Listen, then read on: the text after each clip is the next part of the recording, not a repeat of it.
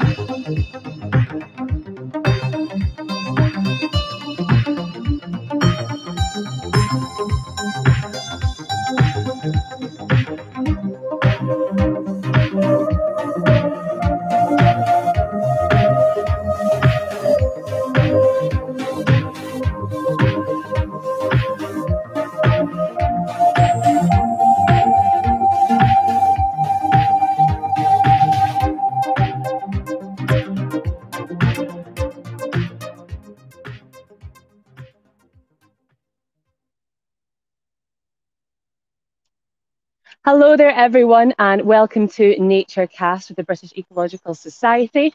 Today, we are going to be looking at so many different ways that you and your families and with your friends can get involved with ecology in your local area. My name is Christina Sinclair. I am a marine biologist, uh, a wildlife presenter, and an outdoor tutor, um, and I have a massive passion for ecology, for nature, um, and for wildlife. So my obsession with wildlife and with nature pretty much started at a very, very young age. The real clincher was when I was about eight years old um, and I first saw the original Blue Planet with David Attenborough. And that's where my passion for wildlife and particularly marine uh, wildlife really, really took off. And from then on, there was no going back, there was no return. So as I got older, you know, that fascination with wildlife kind of expanded into not only being fascinated by individual species, um, but also actually about how connected these species were, how everything impacted everything else, and how these species interacted with their environment as well and changed it and shaped it. And that's really where I sort of really started thinking about ecology and how fascinating everything is and how connected everything is. So now what I do is I am really passionate about sharing my love and my knowledge um, for ecology and for marine biology and wildlife. I present my own wildlife documentaries and films um, with the BBC and for my YouTube, um, and also in my daytime role, um, my job as a tutor with the Field Studies Council. And I'm based up in the lovely Scotland, which for thankfully today um, is looking pretty lovely. Now, my main passion is still marine biology and the marine species that we find, particularly in the UK. Um, however, I have expanded my love as well, um, and I'm really interested uh, in all nature, um, but marine is still so today, what we're going to be looking to get out of this session, out of this lovely hour that we've got today, we're going to be looking at really easy, really simple, really fun ways that you, your family, and your friends can get directly involved with ecology in your local area. So we're going to be looking at some fun activities, ideas, and sessions that you can do. Now, not only are these sessions, you know, really good fun and really interesting, they also actually contribute towards science and contribute towards the overall health of the planet. So they're fantastic things to do to look after the environment as well as have a bit of fun and learn something new. So, how I would like, what I would like to get out of today, what I would like for you guys to do is, I would love you to try out the sessions for yourself. Try them out, share what you've done, share them with your friends, encourage your other friends and families to get involved. Um, and we'd love it as well if you could share your findings, share your activities with us on social media. You know, let us know how you've been getting on. So, what how the session is going to work is we're going to be talking about three different environments that we get here in the UK that you potentially go and visit and do these activities at.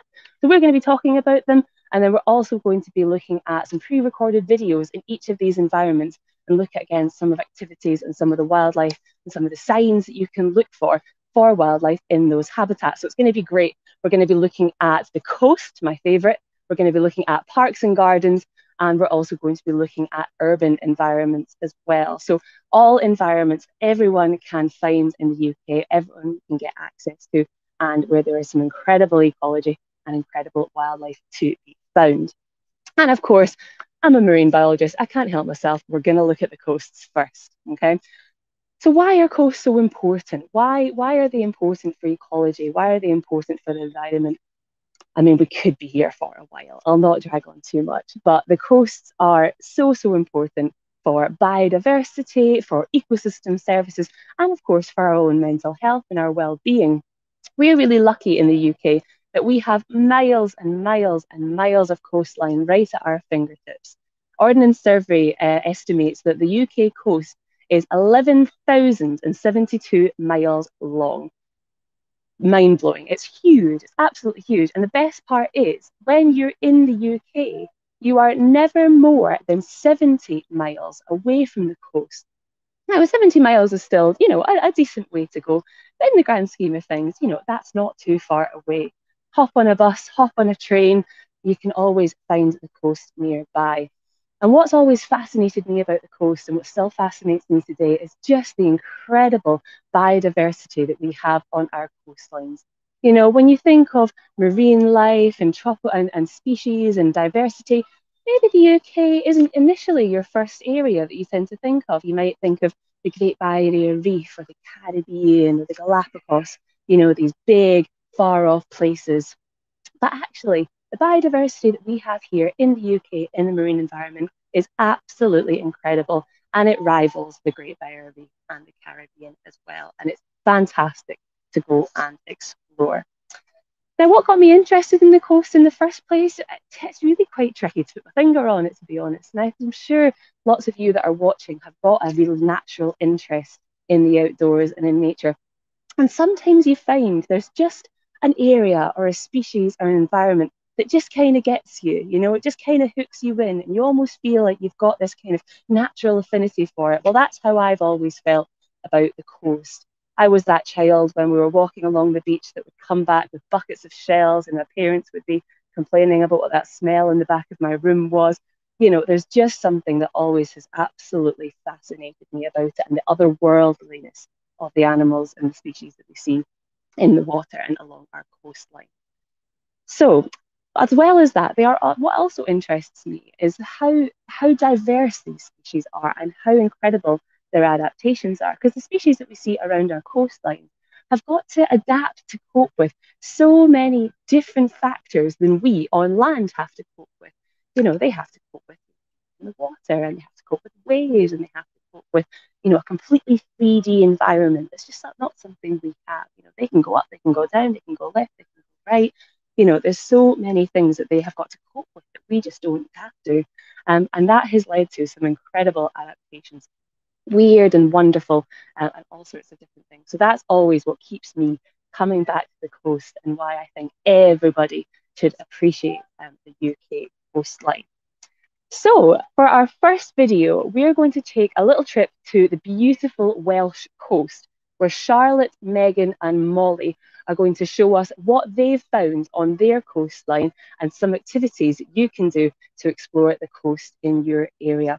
So we'll go to Charlotte, Megan, and Molly just now, and we hope you enjoy.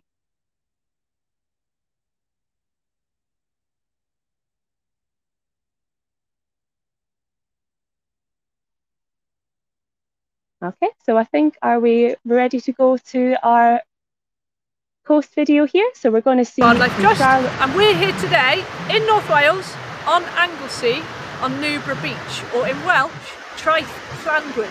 It's backed by Newborough Warren, which was designated the first coastal national nature reserve in 1955.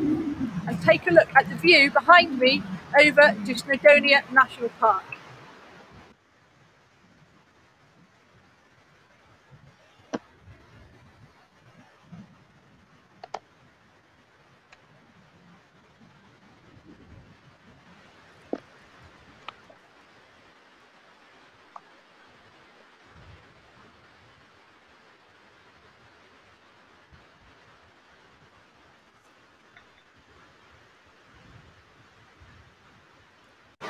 I'm joined today by two young people from our youth-led project Stand for Nature Wales and they are part of the Maun Gwydd Forum. I'm Raleigh. And I'm Megan. In this session we're going to be looking at what we can find on our coastline, how to conserve it and then a fun crafts activity at the end. But first, let's find out a little bit more about Charlotte. What inspires you about ecology? My favourite thing about ecology is that there's always something new and interesting to learn. How do you have a positive impact on the natural world? My job, which is to connect people to nature and inspire positive action to care for our planet. What is your favourite ecology fact? Everything in nature is connected. Like John Muir said, when you tug at a single thing in nature, you find it attached to the rest of the world. One example of interconnectedness is what lives in our seas and what washes up on our beaches. And you can see behind me here this strand line of seaweed that has been brought in by the sea at high tide and deposited on the beach. But it's not just seaweed. There's all sorts of interesting things that we can find here as well. And this can tell us a story about what lives out in the sea. Let's take a closer look at some of the things we can find on the strand line.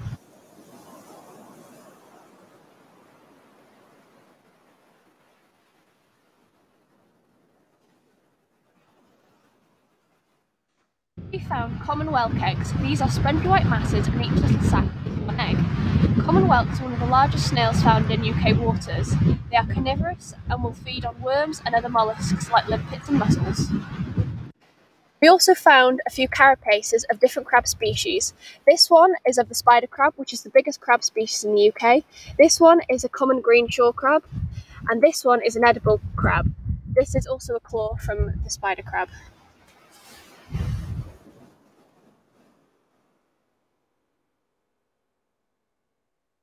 We also found cuttlefish bones. These have hollow spaces which allow them to float, and they also represent a healthy breeding population as they breed once and then they die. So this is an egg case which can be a shark, skate or ray. It's also known as a mermaid purse. So once the animal is ready to hatch, it will leave the egg case and this will be left on the strand line.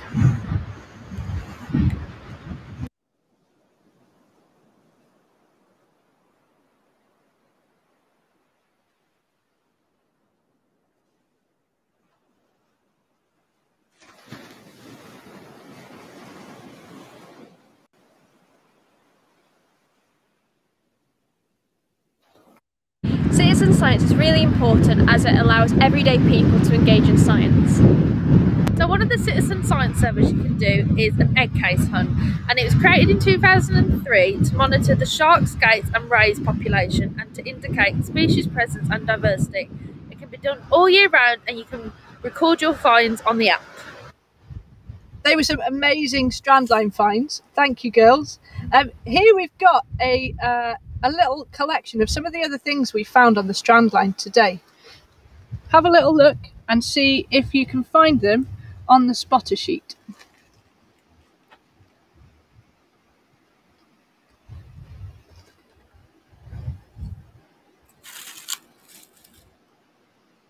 If you look closer in this shell, you'll notice that there's something there that's not natural, that's man-made.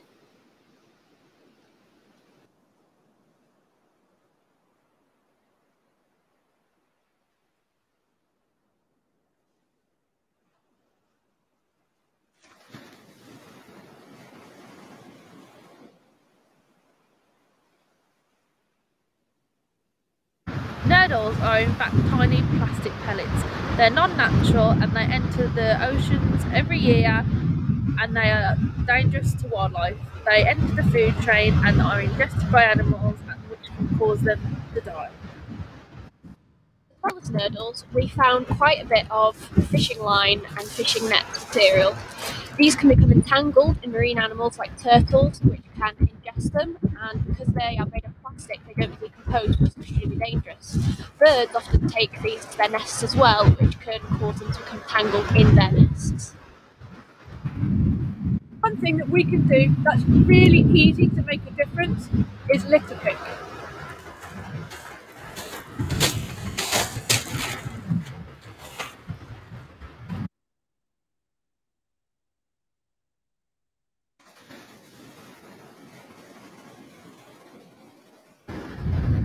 Now on to the conservation craft. A really easy one to do, even if you don't live near the sea, are pebble animals. All you need is some glue, some pebbles, uh, a dark pen, or some shells for eyes, and you'll be able to make seals and otters.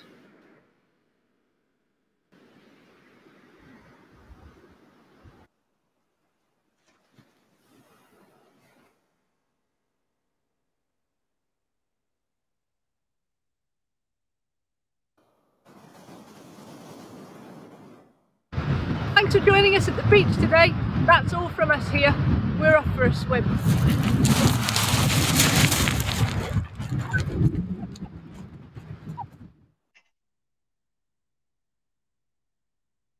All right. Thank you so much to Charlotte, Megan, and Molly for that. That was absolutely fantastic. I don't know if they ever actually did go for a swim. I imagine it would be pretty chilly, but that was absolutely fabulous. So, after some technical problems, I think I am joined by my lovely, the fabulous Dawood. Dawood, can you hear me okay? I can, yes. And sorry, everyone, for that um, brief blip. I did go outside to find my um, outside area, but it seems they're doing building work on it, which isn't very useful. So yeah, but I'm here now. Fantastic. Oh, it's so good you've been able to join us there. Fantastic. So um, thank you again to so Charlotte, Megan, and Molly so much for that. Um, now, one thing that I think is, or both of us actually think, is really, really important, you know, learning and developing your knowledge um, of a particular environment, you know, how to identify species and the biology of that area, how everything connects together is really valuable and it's fascinating to learn.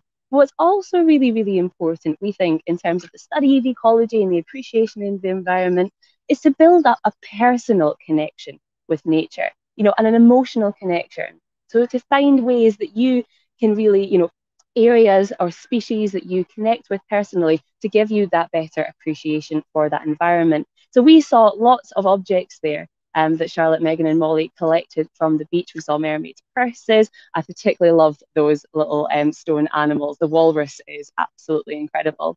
Um, but we, me and Dawood, we when we go out in our environments, we find lots of little things when we're out looking, and we collect them. Um, and I certainly my flat at home is just covered in little bits, and we want to share with you some of the our nature finds. Um, and I'll go first. So we've got this one here. For me, it doesn't look like much, but this little object for me tells a really, really important story. Now, some of you might already know what it is. This is the shell of a native oyster species. Okay. Now, oysters are maybe not something that inspires a lot of, wow, that's a really cool species. You know, maybe people more just think about a little slimy thing um, that you eat in posh restaurants. Well, actually, oysters are an incredibly important species across the world. They are filter feeders, and we'll talk a little bit in a minute about what that means. Now, the native oyster, this species here, you can identify it because it's a bit more round and a bit more fat um, than the typical species that you would have maybe in restaurants. It's a bit more long and thin, that specific oyster. And this species used to be really, really abundant across the UK. But since the 19th century, this species has collapsed. We have seen 95% population declines across the UK, which is absolutely awful. And the reason, as I said, that these are so important is that they are filter feeders. So what they do is they soak in water and they pick up particles of food, and that's how they feed. But alongside picking up these particles of food, they also pick up other organic matter in the water. So they are natural water cleaners. So they're massively useful for us. And they quite often like to live in brackish water in that area where kind of a, a river meets the sea at the mouth. So often areas that have uh, lots of stuff in it that be quite like keep clean. So they're massively useful for us but also they're massively important for other biodiversity as well. So these all gather together in, in reef structures, essentially, in the same way as you might have a coral reef. They build on top of each other and they layer and they layer. And that provides a really good substrate for other animals to live on um, and for nurseries, for fish and various other invertebrates. So not only are they useful for us, they're useful for the wider ecosystem as well.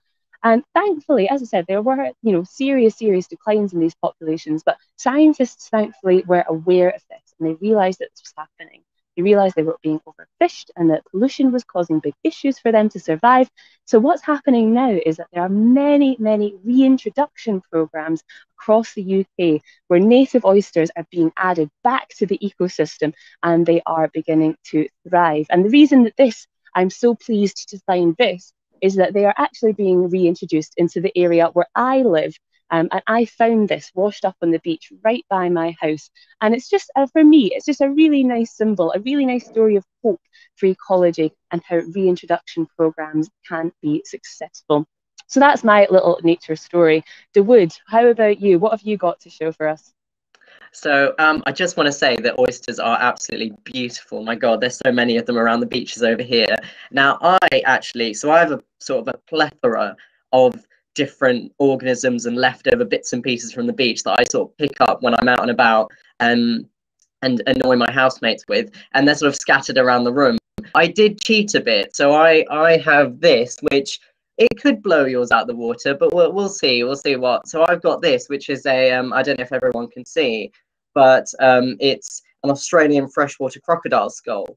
Now, um, so this comes all the way from Australia, actually, and you may have seen their um, older cousin on uh, various Steve Irwin productions, uh, the saltwater crocodile. So this is a really beautiful animal, actually. So I don't know if everyone um, can get a good look at that. It is a really astounding um, skull here. The detail on that is absolutely extraordinary. Um, so the the Australian freshwater crocodile, which is um, also known as the Johnston's crocodile, is a really beautiful crocodile actually. So unlike the huge saltwater crocodiles that you get um, in all the mainstream sort of documentaries and shows, um, so these tiny little guys are not man eaters. Um, fortunately, um, doesn't really matter for me since I've only got a head and it's also dead. But they do bite in self-defense. So obviously, a lot of the people out in Australia will have um, uh, lots of injuries from approaching what seems to be quite a helpless small crocodile, but it has a very powerful draw strength. So I think, um, obviously, as you can see by the skull, it isn't very big. Um, the males go to about two, two to three meters long, and the females will reach a maximum of about two meters long. Um, so the snout is quite slender, um, so they will use that to sort of root around for fish um, and other little organisms.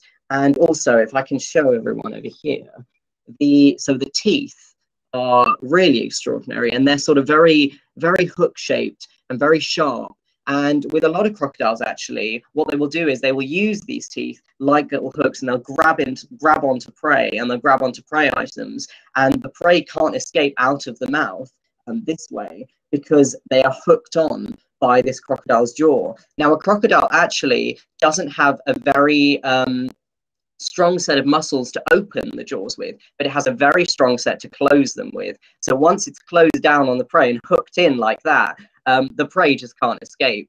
Um, uh, because the crocodile will literally keep it there. And they do this very interesting thing called a death roll.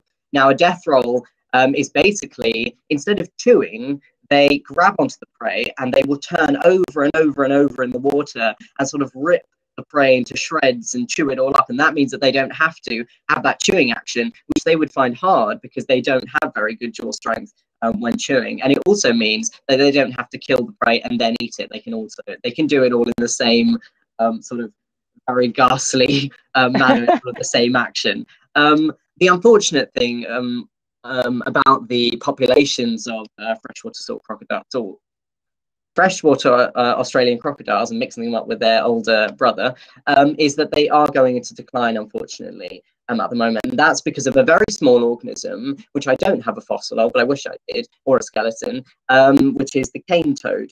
And so these invasive cane toads are poisonous, and the Australian crocodiles will eat them and die, unfortunately. And because there are so many cane toads, it means that the populations of crocodiles are starting to go into decline. So there needs to be something done about that. And I would, could go on and on about invasive species and, of course, the cane toads. I think um, we should move on from that. But very exciting. I did slightly cheat, but I think it was exciting enough. I was going to say, I bring out a shell, or you bring out a skull of a crocodile. Well, I'm still going to rip. I'm, I'm glad you put in the disclaimer uh, propping up the oyster there. I'll, I'll let you off with that. well, fantastic. That's fascinating to hear. So, sadly for both of us, we are both marine biologists and we are going to say goodbye to the coast for just now. But we're going to move on to another incredible environment that I certainly have gained massive appreciation for in the last year and a half. And we're going to be looking at parks and gardens. I'm actually in a local park right now, and as you can see behind me, it's absolutely beautiful. Uh, parks and gardens are an incredibly important, again, uh, environment for the ecosystem health. Um, and for again personal connection as well with nature and building up that personal connection because you know, as most people have access to a park in their area, and um, they're they're the easiest area really for uh, someone to get to and someone to connect with the environment, connect with the environment there, um, and connect with the species. And because the uh, parks and gardens are often a green area, maybe in uh, surrounded by an area that's not very green, you actually will have loads and loads of species gathering in that area because it's the green area, um, you know, the closest green area for miles around. Um, you know, it's massively beneficial for them to go and find that area. And it means that for us as ecologists, we can go and investigate um, the species that we find there. So I don't know about you, Dawood, how are you interested uh, in parks and gardens? So I actually I think that's where my nature sort of love sort of started. So I'm not I'm not in a garden right now, unfortunately, but I was set to be outside um, due to human nature. I have been limited um, in that sector, but um, yeah, so I started off with my love for nature in gardens because um, actually, uh, and in other people's gardens, um, I grew up in a very sort of urbanized area with no garden myself. Um, so I'd go to other people's gardens and parks and areas of nature, and that's where I'd find very small sort of insects and plants and the smaller organisms that interacted really got me interested in nature and you sort of see that i think in parks a lot of the time especially in english parks is you see a lot of the time the smaller wildlife is interacting and it's really starting off as a baseline for the rest of the ecosystem, which means that obviously the larger animals can thrive. So I think parks are incredibly important, especially to um, our environments and our ecosystems, since we don't have very large areas of wildlife and megafauna around the UK. We rely, I think, on gardens and parks for those um, those ecological balances to be achieved. Yeah, absolutely.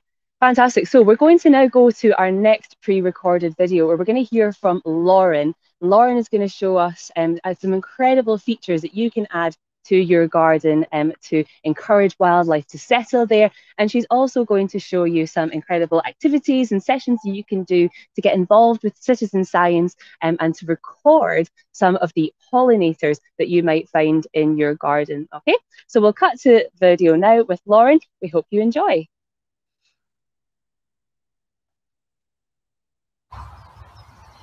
I'm Lauren Kennedy, and I am a lover of nature and being outdoors, and I spend most of my time sharing that passion for wildlife with others.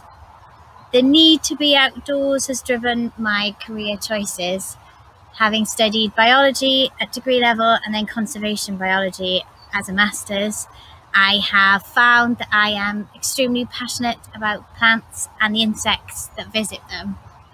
And I have used that throughout my career both in ecological surveying in the UK and further afield, through a traineeship with Natural England, and then most recently moving into engagement, engaging people in nature through the Field Studies Council and most recently Bumblebee Conservation Trust. I'm now back with the Field Studies Council working on a whole suite of really exciting courses in natural history and environmental art sharing my passion for wildlife and being outside with as many people as I possibly can. Being outside is important for me both personally and professionally. I am most calm when I'm walking through woodland or spotting bees on wildflowers or even just pottering in the garden.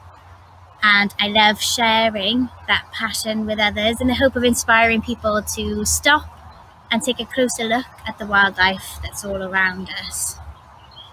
The UK is such a diverse place for plants and insects. Did you know that we have 24 different species of bumblebee and over 250 species of solitary bees? Our pollinators are so important and it's really, really good to take a look out for them and to provide space for them in your gardens and in local green spaces.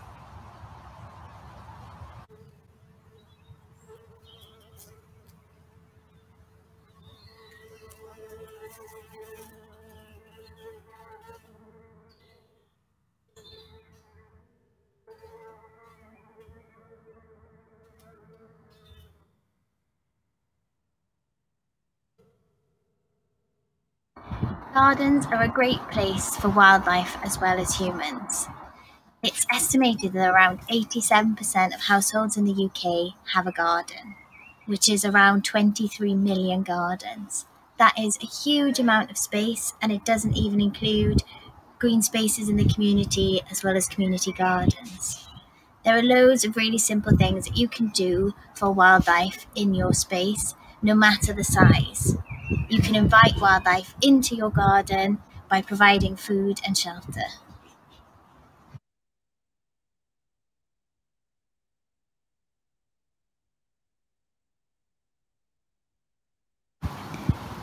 No matter the size of your garden, it's super easy to grow plants for pollinators and wildlife. Plants like mint, lemon balm, borage are all really good plants to have in the garden, not just for yourself and for your family for food and drinks, but the bumblebees, butterflies, and other pollinators love the flowers. They're super easy to grow, just needs a little bit of peat free compost and a sprinkling of seeds. Keep them uh, watered and watch them grow.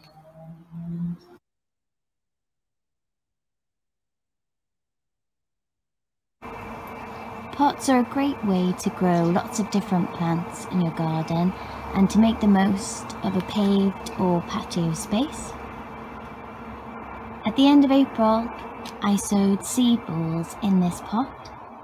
You can buy these in any garden centre or make them yourself. All you need is a pot, some peat-free compost. You place the seed balls on top and give them a good water. And as you can see, we already have some seedlings germinating.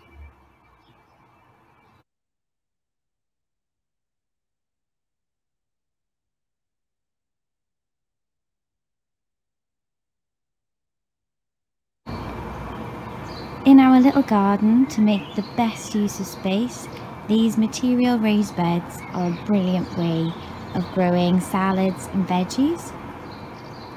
These are perfect space savers if you don't have the space to construct raised beds, and they're portable, so perfect for rental properties.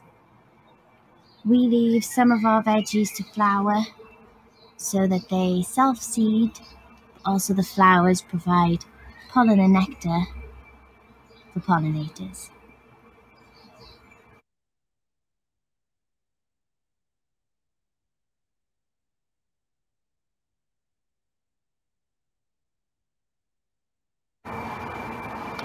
Having a wilder lawn can help support lots of insect species. It might be to everybody's taste, but insects really benefit from sheltering and nesting in long grass. So if you have a, a larger garden, you might be able to leave a corner or a section uncut for insects. And this corner at the moment may seem a little messy, as earlier in the spring we removed the grass and we've sown this patch with wildflowers in the hope of creating a mini meadow. This can take a lot of work. As you can see, we already have lots of seedlings popping up.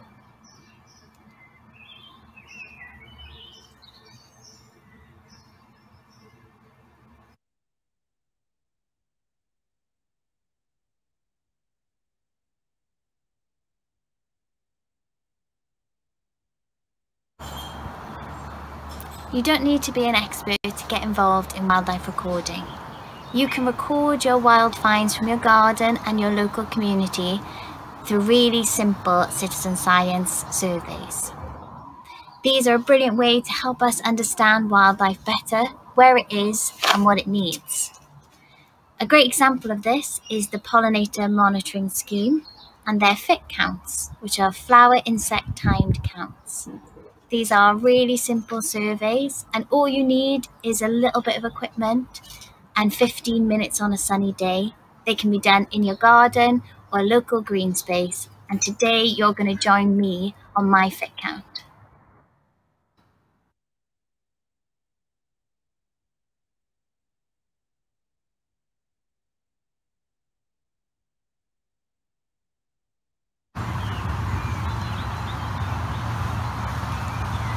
So for our fit count survey today, I've left the garden in search of one of the target plant species that we need to complete the survey.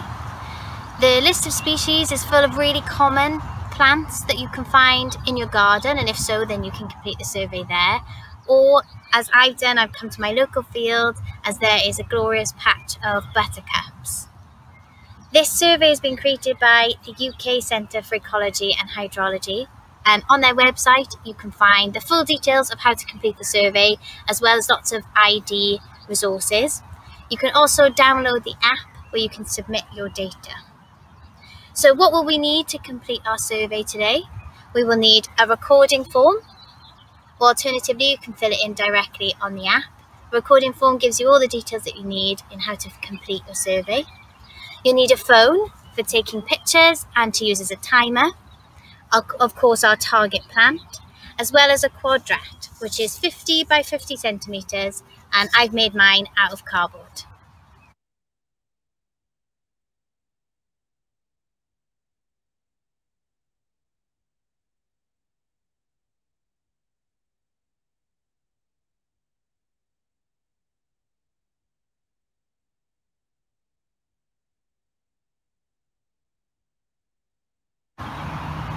So to begin your survey, we need to place our quadrat down so that it's full of our target plant species. So you can see all my buttercups in my quadrat.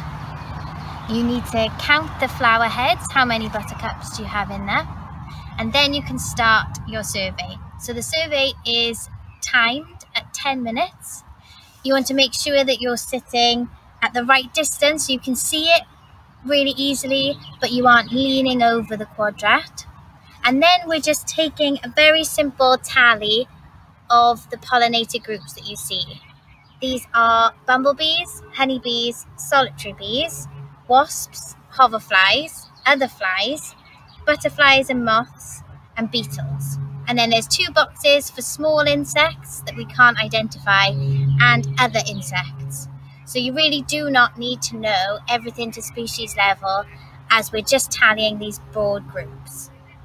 So you're taking a tally every time um, one of those insects lands on a flower. So if they're underneath on the leaves or hiding in the grass, then we don't tally those.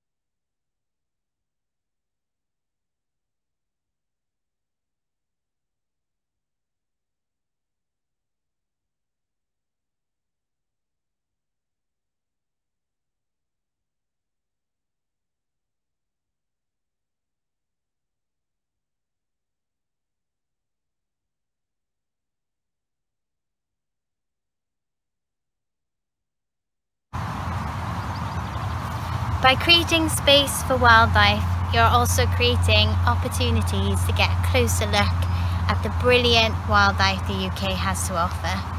Whether you're contributing to data collection through fit counts, or whether you're just sitting back and watching the bees do their thing, I would encourage you all to stop and take a look at the incredible diversity of wildlife all around you.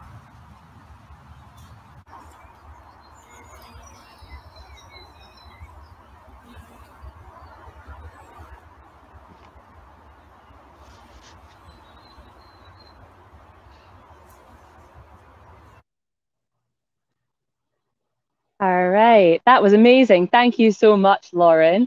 Now, hopefully you can see here uh, me what we've got in front of us today. Me and Dawood are going to have a little challenge. Now, one of the activities that Lauren recommended for encouraging pollinators to grow, uh, encouraging pollinators to come to your garden is by planting wildflowers and by planting seed bombs. So we're about to have a little competition. I would roll my sleeves up if I could. I'm quite competitive. Now we're going to be seeing who can make five seed balls in as quick a time as possible. Now to make your seed balls, you do not need a lot of equipment. All you need is some peat-free compost.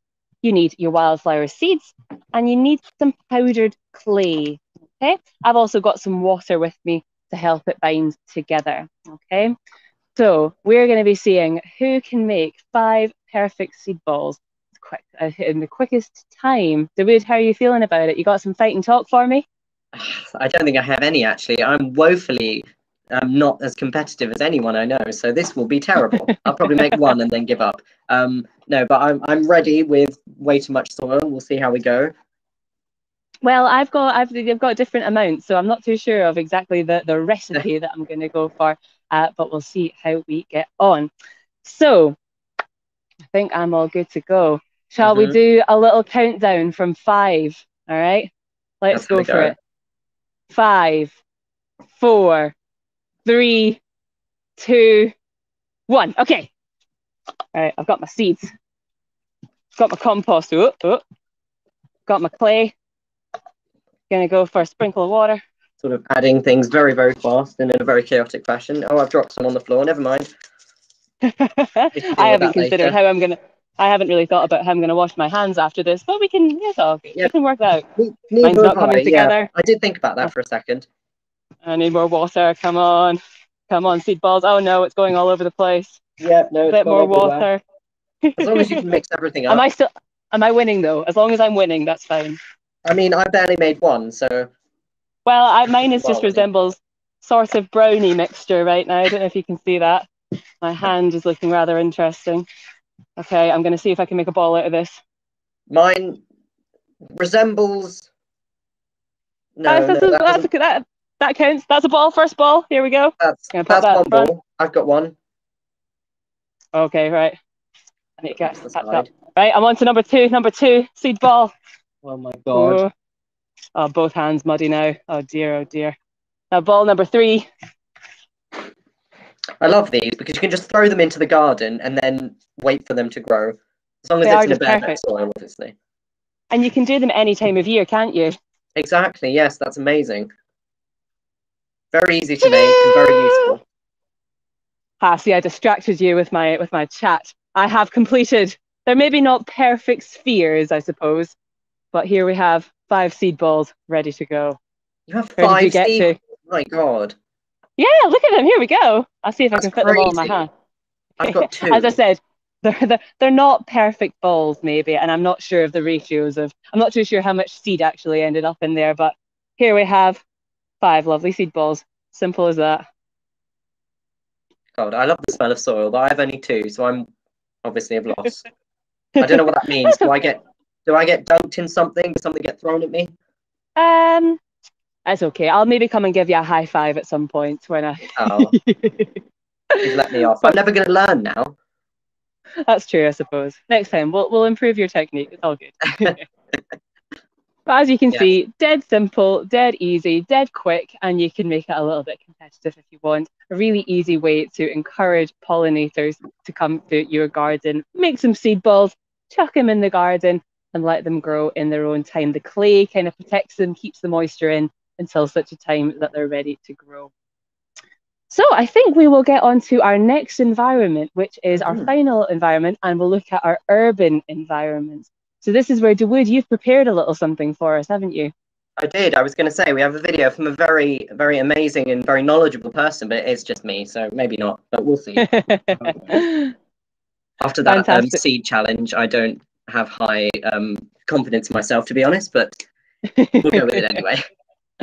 I'm sure it'll be great. So Dawood is going to tell us a little bit about where their personal connection to wildlife and ecology came from. Um, because there's maybe this perception that you can't build an ecological relationship if you live in the middle of a city or in an urban environment. But in actual fact, urban environments in the UK are thriving with wildlife. I've had some incredible experiences with urban wildlife in the last year, and I think Dawood has as well, as they'll be telling us in a moment. Mm-hmm. So I think when we're ready, um, we can have a little look um, at Woods video, please.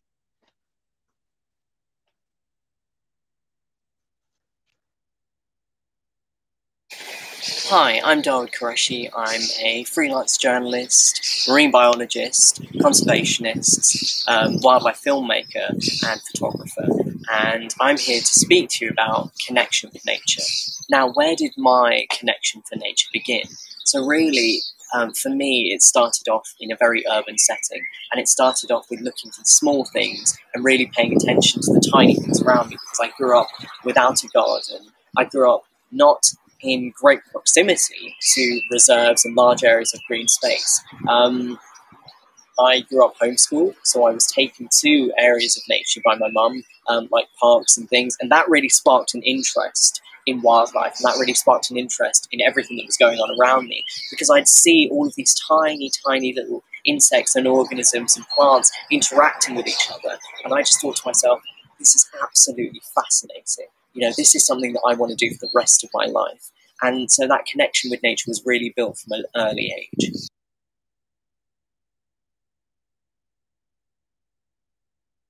So you can't see right now, but I will pan the camera around in a minute. But we're in a beautiful, beautiful park in the middle of Portsmouth, and it's really, really, it's gorgeous over here.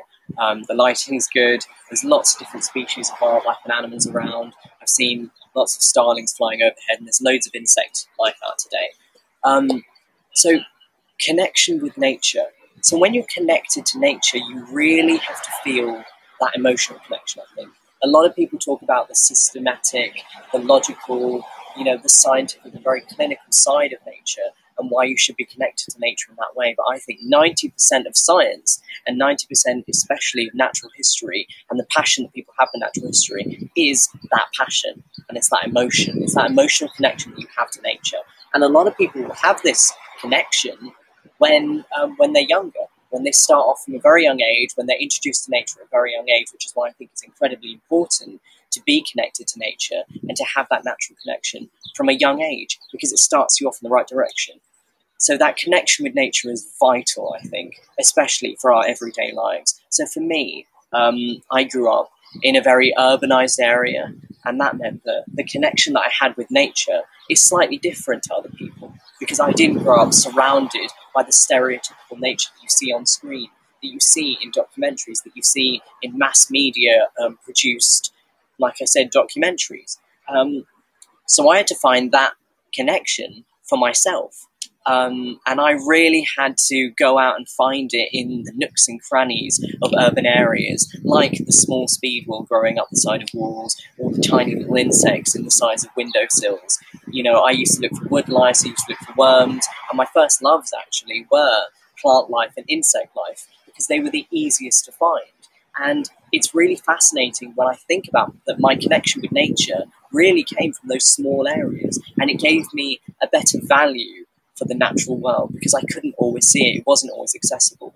So I think, in terms of natural connection and in terms of how we feel connected to nature, these things start off from a young age and they start off when you are immersed in nature, whether that be yourself, like me, whether that be you know yourself choosing to be immersed in nature, or whether that be a parent or a teacher immersing you with nature. Having said that, it's never too late to have that connection with nature because it's around us all the time. And I think oftentimes people forget how connected we all are to nature all the time. There is no one in the world that isn't connected to nature.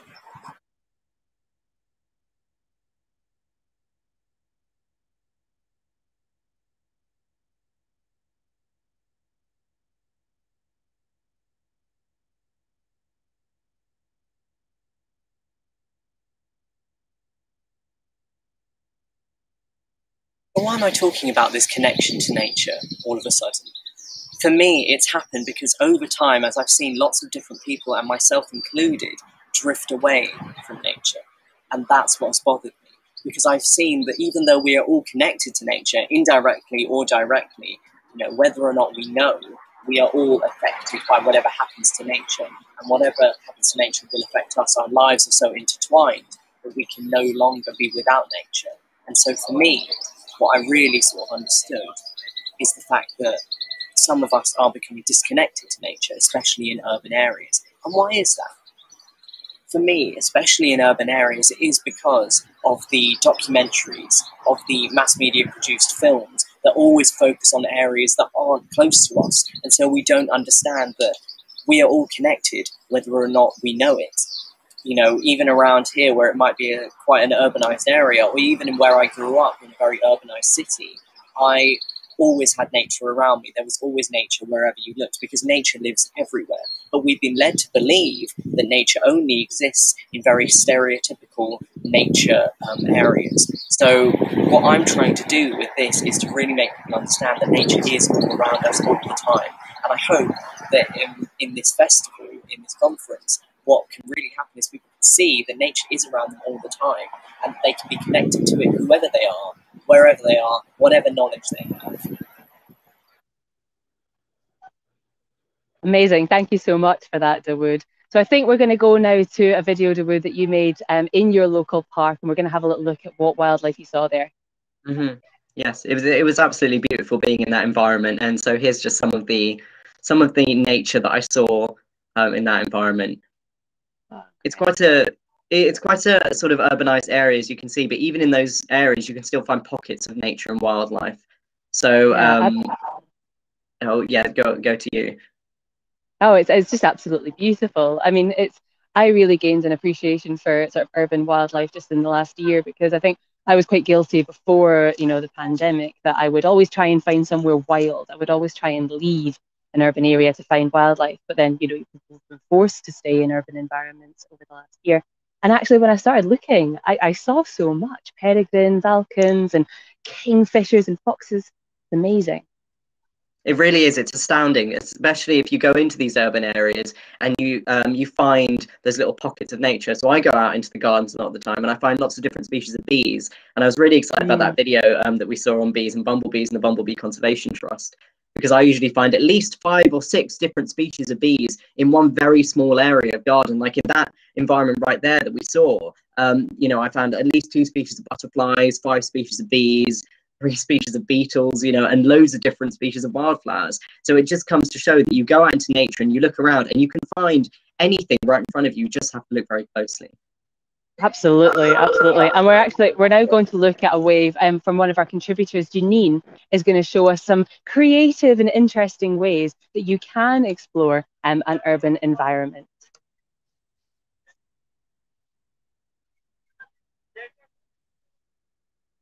Especially in urban areas, it can be difficult to spot nature. Too often we focus on getting to our destinations and not what we see along the way, or the hidden ecology. Urban wandering is a technique that can help us to explore a familiar place but in an unfamiliar way. It encourages exploration without bias. One way of carrying out urban wandering is to use cards like these to help you explore. In this case, I start my urban wandering by following a smell. I then spend time looking up and around me before tossing a coin to decide on my next direction. Heads I go left, tails I go right. Then I follow a bird, find a reflection, and so on. It is important to remember to keep safe at all points and not to get too lost along the way. It can be really fun to create your own set of urban wandering cards. What might you put on them to help you explore your local area? One way of encouraging nature connections is by noticing good things in nature. A recent study in 2016 found that noticing just three good things in nature each day for a week led to longer term increases in nature connection. We're going to show you a little video clip that Dawood took at their local beach, and we would like you to watch it and try to recognise three good things in nature from that video clip.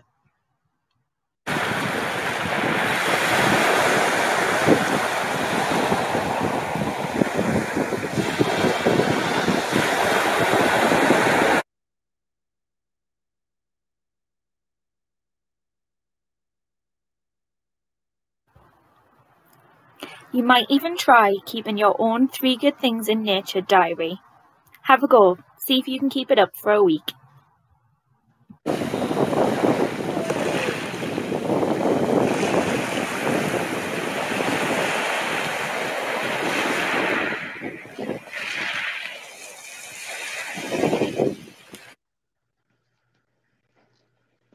Fantastic. Thank you so much for that, Janine. Um, absolutely, that facilitating that emotional connection is so, so important. Now, we're sadly almost out of time, um, but we're going to go first, um, to, or finally, to our Q&A session. So we've had a couple of questions. I'm going to ask you, Dawood, first. There's a really lovely question that's come in, actually. So quite often I find it's quite easy to get bogged down by, you know, the problems that we're facing in our environments and kind of challenges that we're up against in preserving environments. But this question has come in is, can you tell us about uh, an ecological success story um, that you are really sort of uh, connected to or, or really find very fascinating? Yes, definitely. So there's one that I'm particularly connected to. So I um, uh, grew up in London, obviously, but moved to an area called High Wycombe, and that's sort of near to Oxfordshire. And there's a species here, a species of bird actually, that flies over all the time. And there's there's bunches and bunches of these birds and you see them all the time they land on fields on houses and that's the red kite. So the red kite is an absolutely beautiful oh it's an absolutely beautiful bird. I find the feathers sometimes if i'm lucky i can get that's how close i can get to it. But a really beautiful bird of prey um, quite a large wingspan actually compared to some of the other birds of prey that we have that um, exist regularly in england. Um, but the red kite success story is something that i think is quoted quite a lot as a conservation success story. So they were um, they were reasonably um, regular in their existence in the UK um, uh, quite a while ago, but they became the target of bounty hunters and egg hunters who would steal the eggs and hunt the birds. And so the population declined um, quite a lot. So it went to um, double figures actually, and you had less than 20 individuals at one point in the UK, and it was very, it was a drastic decline. Um, but what they did was they got um, birds from other countries and they brought them back to the UK, and they they allowed the population to rise significantly, and now they are in their thousands around the UK, and it is extraordinary to look up and you hear the sort of the keeling cry of a, of a red kite as it flies over um, the house, and it's one of the most um, it's one of the most regular calls actually you hear in High Wycombe um, in an area where it where you know at one point there wasn't anything. So it's extraordinary to see that rise in the population, and I think for me that is a conservation success story that I'm connected to because I see it, um, or I used to see it at least when I lived there every single day when I looked up. That sounds absolutely fabulous. Mm-hmm. We see red kites in certain sections around Scotland, and the first time I saw one, oh my heart, they were just beautiful, aren't they? That's fantastic. They are. They're beautiful. When you look at those eyes, golden eyes, red um, sort of plumage, amazing. Um, yeah. So uh, I think that there's another question that's coming, which uh, I think is quite an interesting question, really. So it's, uh, I think it will help people a lot who are listening to this. So um, as a parent, um, how can I support, encourage, you know, and nurture my child's interest in ecology? That's a really, really good question. And I think a really important one as well. You know, for the both of us and for so many people that I know in ecology, their their love for the environment started at a really young age. And it is so important to nurture that from a young age. Um, I think it's one of these things you don't have to get maybe for people, for parents who aren't biologists or aren't ecologists, or maybe haven't had that interest for themselves, it probably can feel quite daunting. Well, I, am not an expert. I don't know what these species are.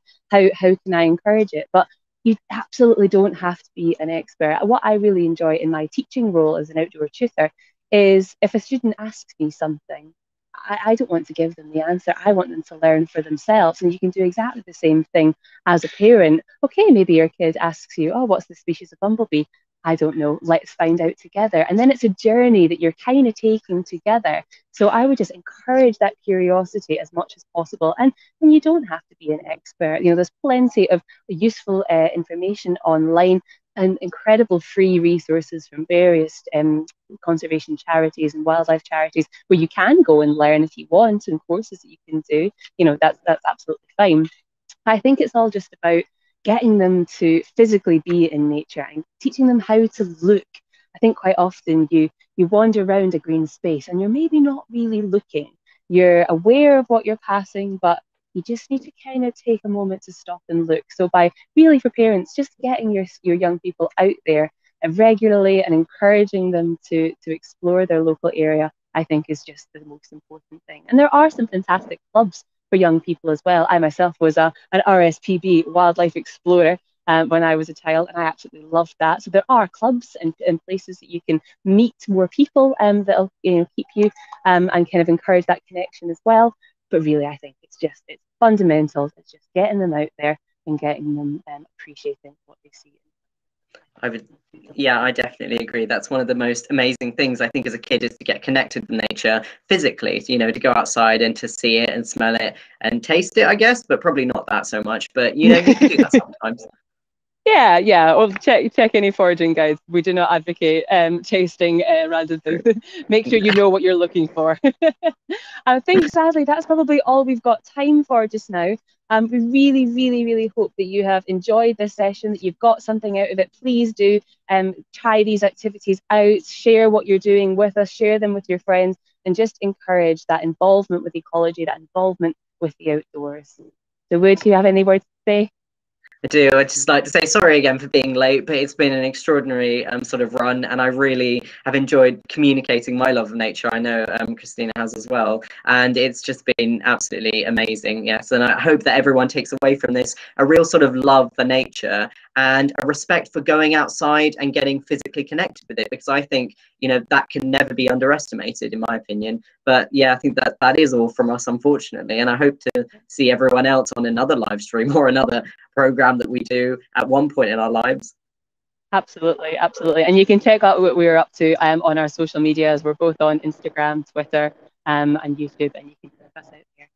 I think from us today, thank you so much. Enjoy the rest of your day. It's been brilliant. Yeah, thank you everyone for joining, and yeah, I hope you have the good rest of your day, good rest of the of the week.